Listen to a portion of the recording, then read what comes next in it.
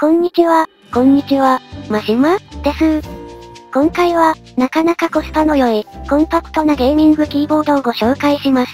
詳細はおいおいご紹介しますが、このキーボード、Windows だけでなく、Mac にもしっかり対応しており、マルチな環境で使いやすい、割と珍しいメカニカルゲーミングキーボードです。今回は、メーカーさんに、レビュー用にご提供いただきましたので、こちら、見ていきたいと思います。ドレボ、グラマー V2、TE をレビューするよ。さて、まずは届いた段ボールを開封。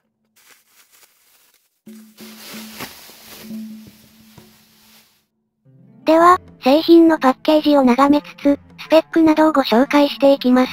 主なスペックはこんな感じ。ブランドは、ドレボ。モデルは、グラマー V2、TE、です。キー数は、84キー、フルサイズと比較して、75%のキーボードとなります。キー配列は US 配列。キースイッチはメカニカル式で、青軸、赤軸、茶軸、黒軸の4タイプがラインナップされています。今回は茶軸のものです。ちなみに、キースイッチのブランドは、チェリー MX 互換で、TTC というスイッチが使われていました。接続方式は USB の有線接続。キーボード本体側のコネクターは USB-C で、ケーブルの交換が可能です。LED 搭載で、各キーは RGB で光ります。その他の特徴としては、コマンドなど、Mac 向けキー印字が併記されていたり、USB ハブ機能や同時をしたようであったりします。あとは本体カラーは白と黒モデルがあり、今回は白モデルです。とまあ、以上が主な仕様です。それで、肝心な販売価格ですが、Amazon で税込5299円、です。RGB 対応のメカニカルキーボードで、この価格は比較的安価ですよね。おまけに、USB ハブ機能や、USB Type-C、Mac 対応など、優位性もあるので、結構リーズナブルで攻めている感を受けました。さてと、基本情報をご紹介できたので、次、開封して、中身を見ていきたいと思います。中身を見ていくよ。それではいよいよ開封していきます。お話ばかりでお見せできていませんでしたが、パッケージもなんかかっこいいですよね。ちょっとだけ雰囲気に見覚えがあるのですが。うん、気のせいか。おお。袋に包まれたキーボード本体が見えてきました。コンパクトです。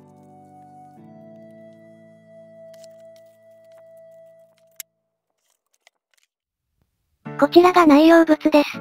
内容物は、キーボード本体、USB ケーブル、チルトスタンド、キーキャップ取り外しツール、説明書類、そしてステッカーです。特に、キーキャップ取り外しツールが付属しているのは良いですね。掃除するときに、これがあるのとないのとでは、全然違います。では、キーボード本体を見てみましょう。詳しく見ていきます。キー配列は US 配列で、コンパクトタイプですが、矢印キーやファンクションキーなどが搭載されています。一般的な点キーレスキーボードに近いですね。キースイッチを見てみます。TTC の茶軸スイッチです。キーの上部は透明で、RGB LED の光が拡散、透過するようになっています。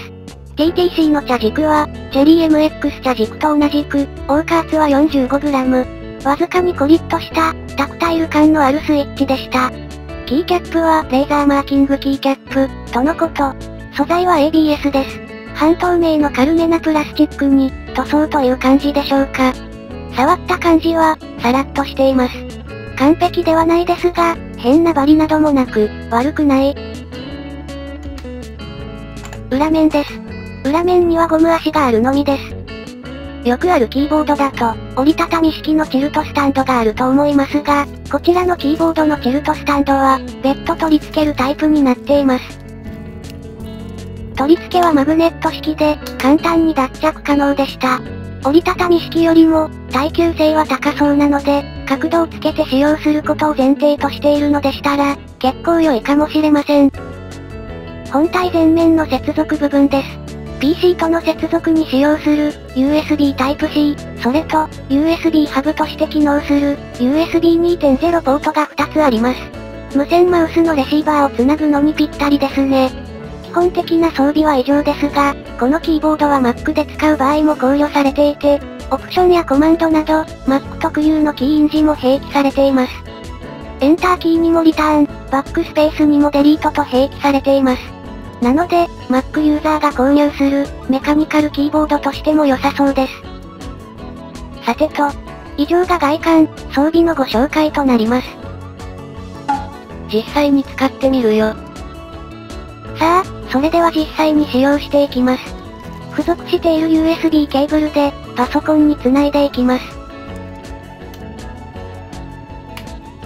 接続しました。LED も光り始めましたね。ではでは、とりあえず入力してみます。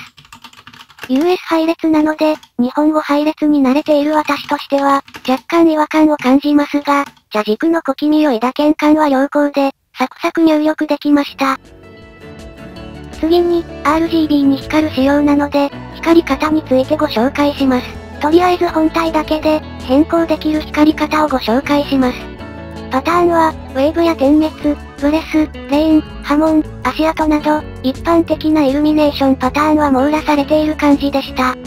明るさに関しては、最高にしてもやや暗めな印象。優しい光という感じでした。また、明るさを一番少なくすることで、LED を消灯することが可能です。設定も保存されるので、毎回設定し直す必要はありません。イルミネーションについては、総じて若干暗いという以外は、パターンも多く、発色、色の混ざり方もいいと思いました。それと、キーボードに内蔵しているパターン以外に、PC にソフトをインストールして、各キーの色を個別に指定することも可能です。LED イルミネーションについては以上になります。それと、このソフトについてですが、イルミネーションの設定以外に、1キー1キーの再割り当てや、マクロなどを設定することもできました。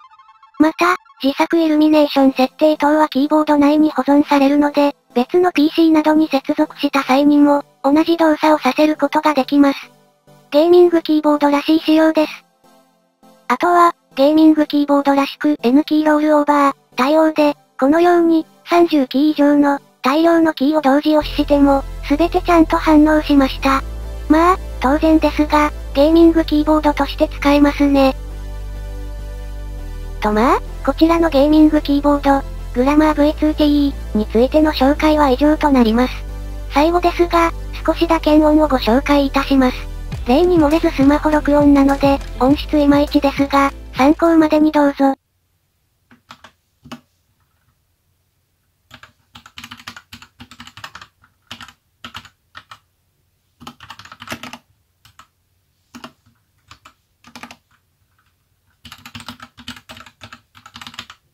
金属音、反響音は少しありますが、個人的には気にならない程度。音の大きさは、ジャ軸としては普通の音量で、特にうるさいとかは感じませんでした。まとめです。いかがでしたか？今回は、格安かつ、Windows、Mac の両方に対応しているコンパクトメカニカルゲーミングキーボード、ドレボ、グラマー V2TE のご紹介でした。少々使った感想としては、少しだけ LED が暗めかなというのと、個人的には US 配列にまだ慣れないという感じでした。